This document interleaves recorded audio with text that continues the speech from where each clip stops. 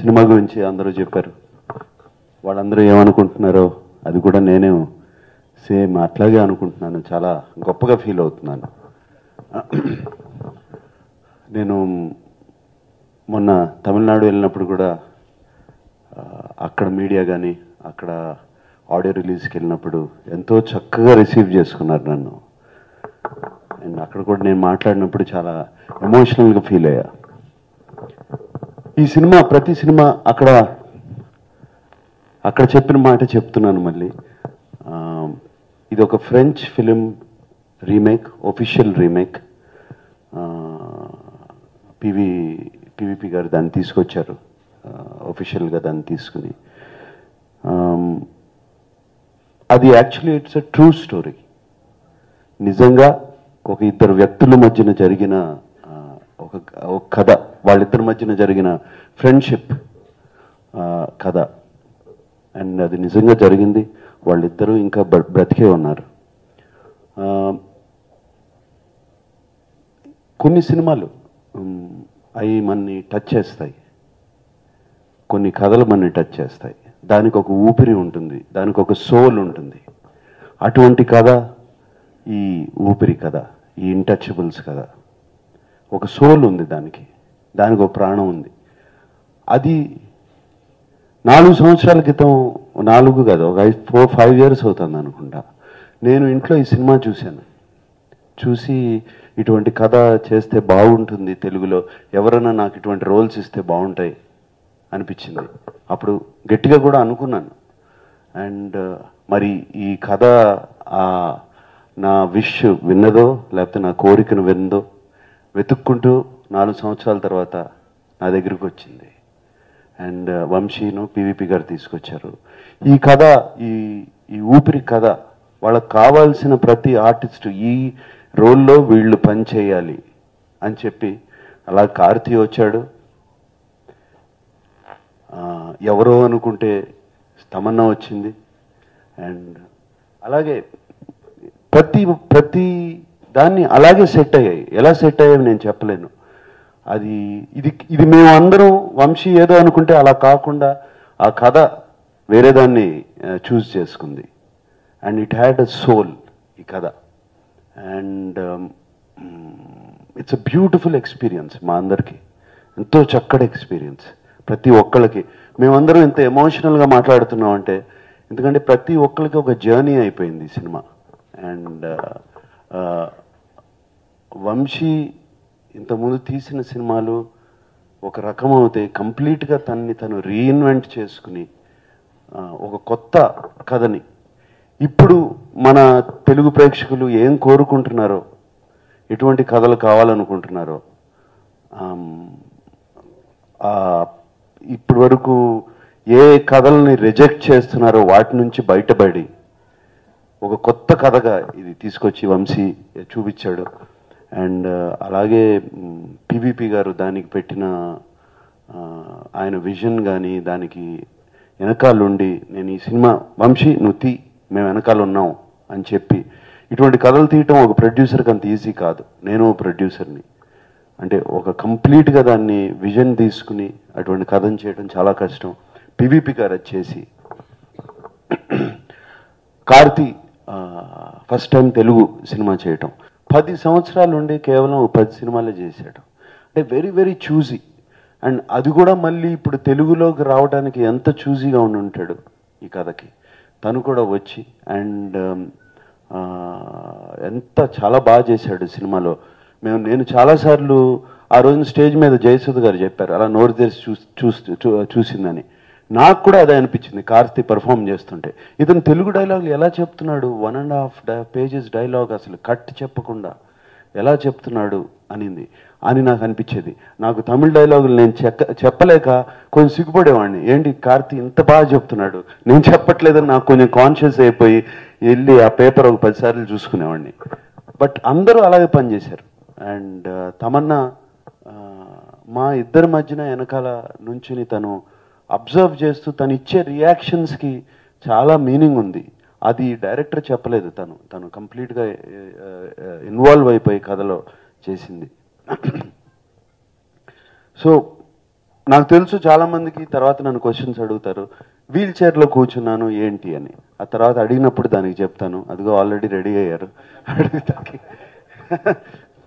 so this is a beautiful journey. And మీరు తర్వాత మీరు క్వశ్చన్స్ అడిగినప్పుడు మేము ఇంకా మాట్లాడతాం ఈ జర్నీ గురించి. And just uh, uh, uh, నిన్ననే సినిమా చూశాను చూసి ఐ సో హ్యాపీ చాలా తృప్తిగా ఉంది. ఇంతకుముందు డబుల్ పాజిటివ్ చూసి ఇలాగే ప్రెస్ మీట్కి ఒకసారి వచ్చినప్పుడు చాలా చాలా హ్యాపీగా ఉంది. నిన్న సినిమా చూసిన తర్వాత అప్పుడు కన్నా ఇంకా చాలా హ్యాపీగా ఉన్నాను దీనికి నేను ఒకటే చెప్పాలంటే వీళ్ళు నాకు కథ చెప్పడానికి వచ్చినప్పుడు ఈ కథ నేను ఒప్పుకుని this will be a feather in my cap అన్నాను. మొన్న సంక్రాంతికి క్యాప్ వేసుకున్నాను. రేపు ఇరవై ఐదుకి ఫెదర్ పెట్టబోతున్నాను.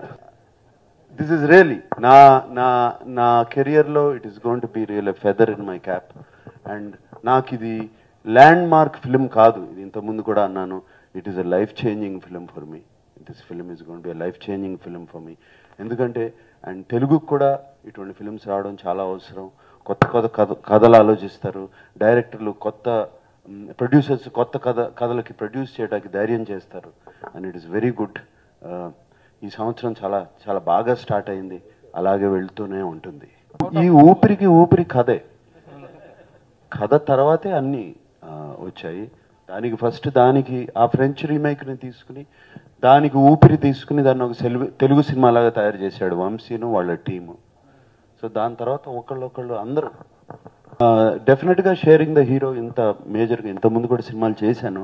బట్ ఇట్లా this is a true multi starrer and multi స్టారరే కాదు టు డిఫరెంట్ స్టేట్స్ ఒక తెలుగు ఒక తమిళ్ రెండు సినిమా రెండు లాంగ్వేజెస్లో ఇద్దరు మల్టీ స్టారర్ చేస్తున్నాం అండ్ డెఫినెట్గా uh, uh, మా ఇద్దరికి ఒక అండర్స్టాండింగ్ ఉంది కాబట్టి చాలా ఈజీ అయిపోయింది చాలా హ్యాపీగా ఉంది. అండ్ అది చేంజ్ లాగా అనిపించలేదు. అండ్ ఇట్ వాజ్ ప్లెజర్ వాళ్ళ ఫ్యాన్స్ ఈ సినిమా చూసి మా హీరో ఈ సినిమా చేశాడు అని చాలా ప్రౌడ్గా ఫీల్ అవుతారు. సో ఆ డౌటే లేదు నాకు. శివ గీతాంజలి అన్నమయ్య మనం మొన్న సోగ్గాడే చిన్న ఇప్పుడు ఊపిరి. మనం వెతుక్కోవాలి మనం ఓపెన్ ఓపెన్గా ఉండి ఓపెన్ మైండ్తో వాటిని యాక్సెప్ట్ చేస్తే బోల్డ్ అని క్యారెక్టర్స్ ఉంటాయి మనకి very talented directors talented writers ఉన్నారు. వాళ్ళందరూ రాస్తారు. మనకు వాళ్ళు వాళ్ళకి మనం ఛాన్స్ ఇవ్వట్లేదే కాబట్టే అయ్యే కథలు పట్టుకొచ్చి చెప్తారు. No I don't think so ఇది నేను ఈ క్యారెక్టర్ నాకు రావడం పెద్ద అదృష్టంగా నేను అనుకుంటున్నాను. అనుకుని చేశాను. సాక్రిఫైస్ చేసి చేస్తే ఏ సినిమా వర్కౌట్ అవ్వదు. అది మన అదృష్టం మన దగ్గరకు ఉంది. మనకి గొప్ప అవకాశం వచ్చింది అనుకుని చేయాలి. బేసిస్ ఆ బేసిక్ క్యారెక్టర్స్ తీసుకున్నాం. కంప్లీట్గా అడాప్ట్ అడాప్ట్ చేసాం ఆల్మోస్ట్ ఫిఫ్టీ సీ సిక్స్టీ సీన్స్ దానికి దీనికి సంబంధం ఉండవు. అటువంటి సీన్స్ ఉన్నాయి. కంప్లీట్ అడాప్టేషన్ అది ఫ్రెంచ్ కల్చర్ అది మనదేమో తెలుగు ఇక్కడ తెలుగు కల్చర్ దానికి అడాప్ట్ చేసుకున్నాం కంప్లీట్గా సో అది రీమేక్ అనకూడదు. అడాప్టేషన్ అన్నెసరీ లీగల్ ప్రాబ్లమ్స్ రాకూడదు కాబట్టి పివిపి గారు వెళ్ళి కొనుక్కొచ్చారు. Uh, సోల్ని ఇంకా ఇంకా డెప్త్కి వెళ్ళి వంశీ చాలా చాలా బాగా తీశాడు. క్యారెక్టర్స్ ఇంకా డెప్త్కి వెళ్ళాడు ఎందుకంటే ఆల్రెడీ ఒకటి ఉంది మన దగ్గర. ఇంకా దీన్ని ఇంకా లోపలికి ఎంత వెళ్ళొచ్చు? మన తెలుగు ఆడియన్స్కి ఇంకా ఎంత దీన్ని దగ్గరికి తీసుకెళ్ళొచ్చు అని చెప్పి తీసుకెళ్ళాడు. Plus always uh, mm, uh, కొంచెం uh, యూరోపియన్ ఫిలిమ్స్ చాలా కట్ కట్గా ఉంటాయి. అండ్ అంత డెప్త్స్లోకి వెళ్ళరు. వంశీ దీని కంప్లీట్ డెప్త్స్లోకి వెళ్ళాడు. ఇట్ వాజ్ డన్ ఫెంటాస్టిక్ చాలా చోట్ల మనకి బాధతో కాదు ఆనందంతో కన్నీళ్ళు వస్తాయి ఈ సినిమాలో. ఇప్పుడు ఎన్ని సినిమాలు ఇంక ఇంకా ఎన్ని చేస్తాను ఏంటి? నాకు కరెక్ట్గా తెలీదు. అండ్ ఎన్ని సినిమాలకు నాకు నాకు నచ్చి మెయిన్ లీడ్ రోల్స్ వచ్చాయి ఎన్ని వస్తాయో నాకు కరెక్ట్గా తెలీదు. I know almost ninety five films అయిపోయాయి. సెంచరీ ఈజీగా చేస్తాలే కానీ అది ప్రాబ్లం లేదు.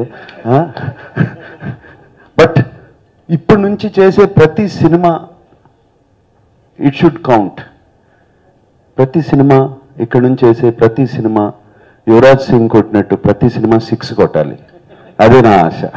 ఆమె అప్పుడప్పుడు ఆమె కొంచెం ఆలోచించుకునేవాడిని. ఆమె ఫ్రస్ట్రేషను ఆమె హెల్ప్లెస్నెస్ ఎలా ఉంది అని నాకు నేను ఇంటికి వెళ్ళినప్పుడు అనిపిస్తూ ఉండేది. ఎందుకంటే ఎప్పుడు వీల్ చైర్లో కూర్చున్నప్పుడు ఎప్పుడు లేచి నడిచి వెళ్ళిపోదామా అనిపించేది ప్రతిసారి. ఆ షార్ట్ అయిపోయింది కానీ టక్కుమని లేచిపోవాలని అప్పుడు అప్పుడప్పుడు కొంచెం నాకు అనిపించేది. చార్మింగ్ ఇంకా ఎవరు లేరు. ఉండరు. ఇంకా హండ్రెడ్ ఇయర్స్ ఉండరు. అంతే దాని దానికోసం. ఏమో నాకు తెలియదు ఎందుకు చూస్ చేసుకున్నాడు. బట్ డెఫినెట్గా ఐ వాంట్ థ్యాంక్ హిమ్ నా దగ్గరికి కథ తీసుకొచ్చినందుకు. నా దగ్గరగా నేను అనుకున్నది ఎప్పుడన్నా ఎవరన్నా నాతో ఈ సినిమా తీయాలి అనుకున్న దానికి మరి తను విన్నాడో ఏంటో తీసుకొచ్చి నా దగ్గరికి వచ్చాడు.